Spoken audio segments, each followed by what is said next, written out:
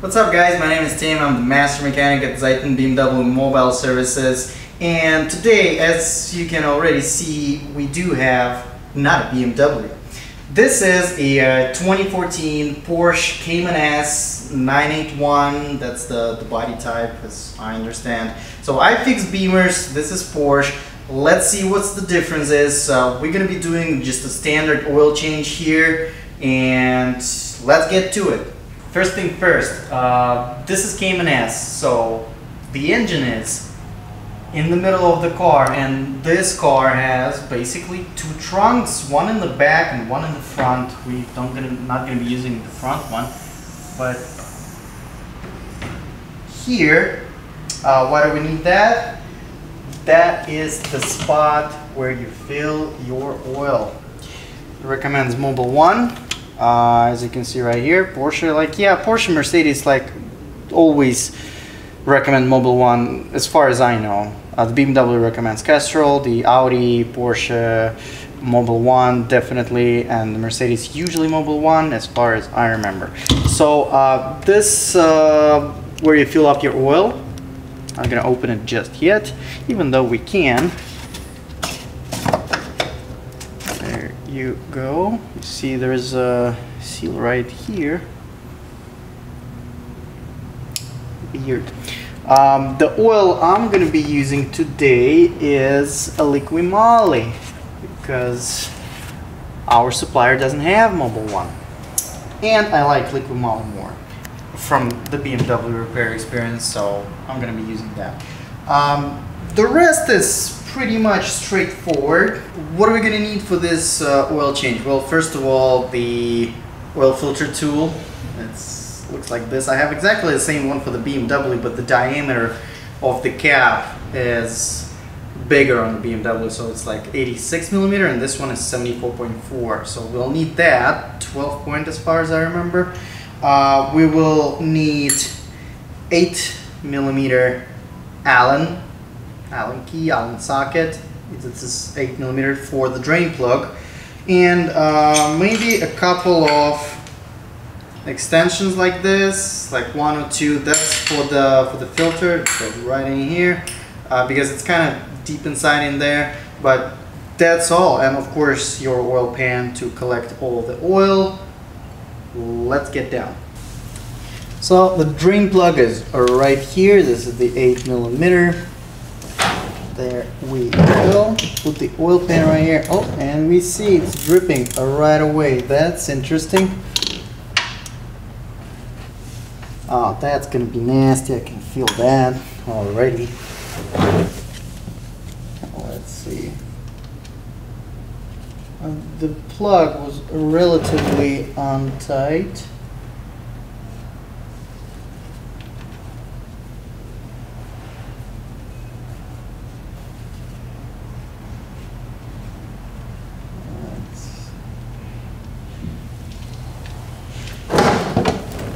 There we go.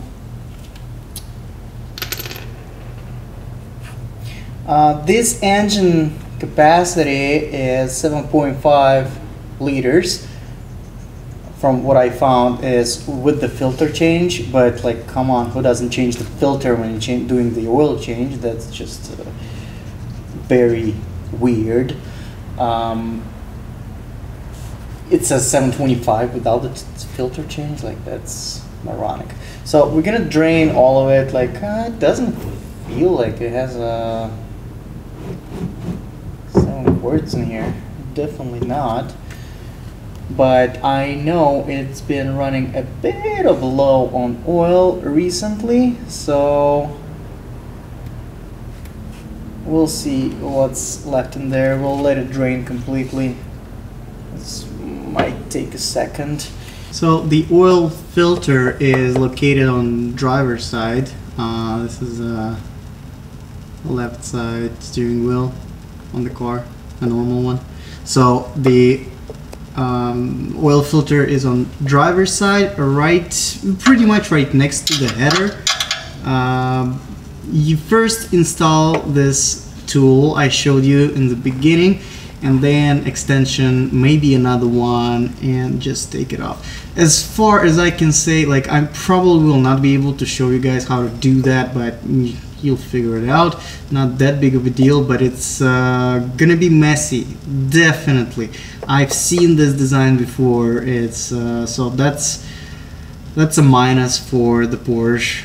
Uh, BMW made it better with the filter on top. Not all of them, but uh, still, the, what the BMW has and the Porsche doesn't, it has the drain plug in the oil filter cap. So you can drain everything that oil filter holds and then put it back and then take this all and it makes it not that messy. Let's say on the V8 engines, um, the BMW has the filter at the bottom as well, but it's kind of made smarter a bit. So I'll take the filter out once we drain everything from the oil pan, which is still draining, and then uh, I'll tell you how messy that was. That was a mess, but not that big of a mess, so that's a good thing. Another surprise for you BMW owners who might want to buy a Porsche would be that the oil filter, as I say in every of my video, the BMW oil filter comes with all necessary parts in it. So this one, so here's the, the filter, of course, uh, nothing special about it. And the only other thing we have is the O-ring for the oil filter cap. Of course, which we gotta replace every time we do that. But as you noticed, probably there is no crush washer for the drain plug for the oil pan, of course. So that's might be a surprise to you. I already knew that, so I had one ready for it. But that's just weird for me after the BMW experience that you just sell the filter without the crush washer. Like, I mean, maybe it's considered reusable, but like, come on. So uh, let's see. The other thing is. Um, taking this filter out, it's just, it's kind of uncomfortable. It's not difficult, but it is uncomfortable. So here's the old filter. Leave it here because as any of those 12 points, uh, 12 point tools, when once you start to remove the oil filter cap, it kind of gets stuck in here, and well you gotta move it all together and it gets messy like this. It gets dirty. So you gotta clean it up. And we do have let me let me take this one kind of to the bench. We'll remove the o-ring and I'll show you where it goes. So here's the the o-ring we gotta replace as uh, I hope that the Porsche gets maintained better than BMWs and the oil change places always replace the o-ring and know how to do that which we know with beamers is not the case. So it might get confusing to you because there's kind of two spots here for the o-ring. Well first of all remember where you took it from. The second of all it ends here so don't put it here don't do that. And it's as you can see that's part of the thread basically. So there's only one spot it can go to. It's right here. So we lubricated it already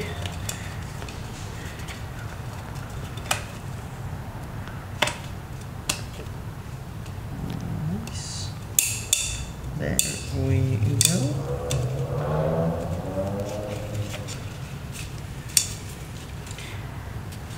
there we go and good. I don't need to remove this yet and as you can see as I told you it's kind of stuck in here. So these tools they always do get sort of stuck so we'll clean all around it and then I'll clean the filter cap when um, fully installed. So there's nothing else to replace in here. Basically all we can do now is uh, put the filter put it on and refill the oil. What I learned from installing the filter, you'll have to remove the tool first from the oil filter cap in order to put it back because it's just not enough room for both of them. It's enough for both of them to come out, but to put it back just makes things complicated. So remove that. Second thing is install the filter first into the where it's supposed to go and then put the cap on. So and that makes it pretty much straightforward, but it's still it's kind of uh, weirdly done. So it's not exactly simple, but it's not exactly difficult. Kind of weird. I have weird feelings about it. Uh, now we're gonna be now we're gonna be using this oil. It's 5W40 Liqui Moly. I prefer this for this engine Cayman S because I do use this car on track and I do prefer a higher viscosity on operating temperatures. That's why 40 is right here. So, and 540 is just enough, so it's pretty good. So let's fill it up. The first one will go in fully, and the second one, just a part of it. I don't like the way the Liqui Moly makes its bottles, like this thin neck. Uh, I really don't, but.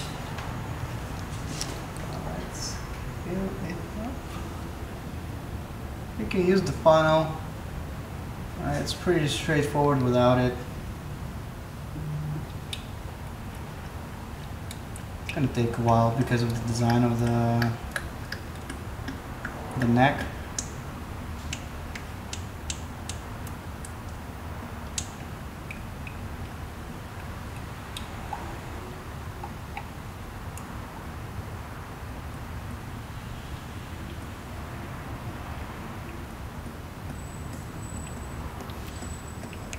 But I can tell you, it's kind of, it's uh, a bit easier than on BMWs to not spill anything without using a funnel because um, even if you do, there's still so much room inside where the cap goes. If you look at the cap, like all this area, it will just go drain inside. Like that's so you can be not worried about using the funnel at all. I mean, I never do, but uh.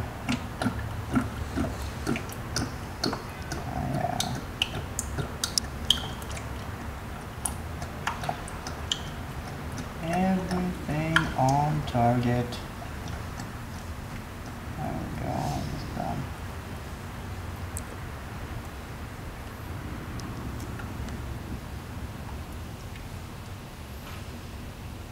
The five quarts go in. There is no special procedure like on, uh, I remember I had the R8 that was a dry sump system. And with the dry sump system, you basically have to start the car, let it run, measure the oil, and then run it again here. No such thing. We just fill it up, start the car, measure the oil level. That's it.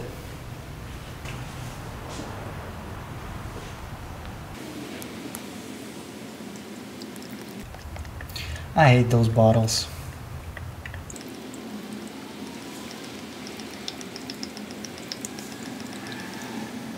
Let's see. So we got approximately six quarts.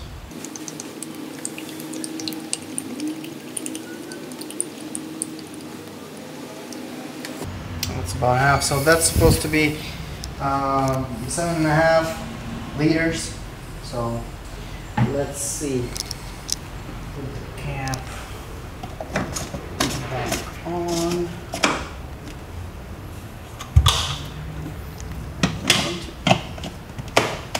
There we go. Now we can start it up.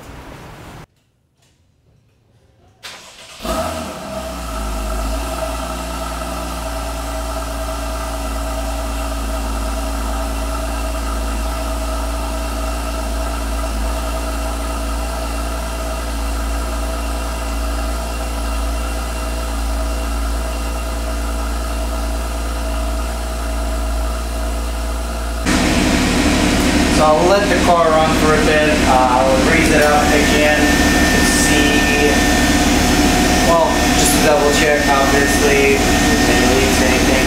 But once again, this is a messy design of the filter and it splashes all around the structural components in there, like racing struts and everything. So I wiped it up as much as I could, but I do have a feeling that it's still going to be dripping here and there, like, you know, like that drops really, nothing big.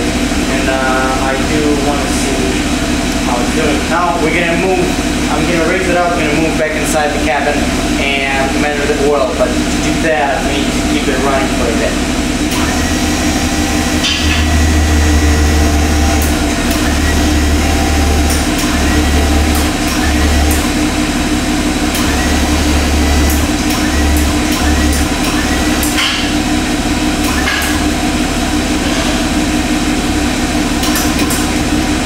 So using the lever to control all those things in this menu, uh, you push outwards, so towards the hood, and there you go, oil measurement, do it again.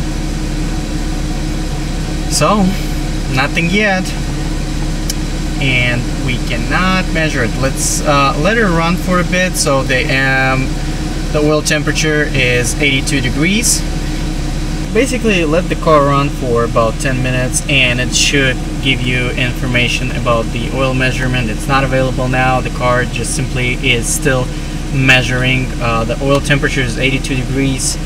I'd say it's probably when it reaches at least 110 120 then you will have uh, measurement available. You might need to drive it for a bit but um, that's pretty much it so there you have it guys, uh, the oil change on this Porsche Cayman S is complete. Uh, please let me know in the comments who made it better, BMW or Porsche regarding the uh, oil change simplicity. I'm leaning towards BMW, my opinion. It's, uh, it's all about the filter. I I'm gonna be honest with you guys, the filter, I didn't like this design at all. It gets messy. Uh, weird. But thank you guys for watching. Like, subscribe, share.